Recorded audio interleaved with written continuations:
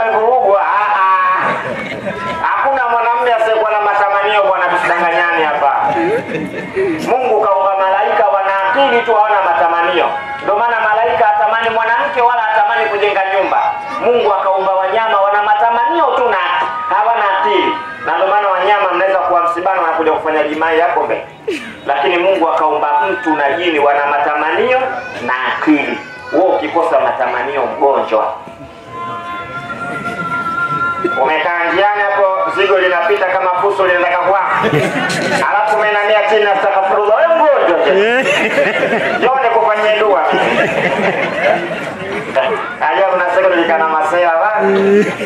Ayo bila bila sana kukaa wa masela. Hapo sometimes unaiti kama niko kwao hivi. Kwa hiyo raha shafi wetu bwana. Kumbe mimi na akili sana. Sasa kama tumekaa hivi, akawa anapita mtoto mmoja wa kike kavaa vibaya kweli. Tumtangulie. Tumtangulie ndo nini? Nikasema hapa nisijifanye ninajua, subiri kwanza. Lile benchi lile likageuzwa likaangaliwa huko. Hata na mwanamke akipita huku ndo habari zote zitamuona. Hii ndio maana tumtangulie. eh. Sasa wale walipokuwa wanatoa macho kutazama na mimi nikatazama. Hasa watoto wakasikia mwangalie shesha, mwangalie shesha.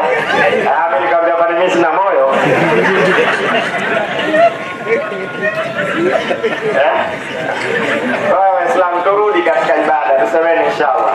Dada zetu kina Sofia Ngope mmevaa vizuri, alhamdulillah.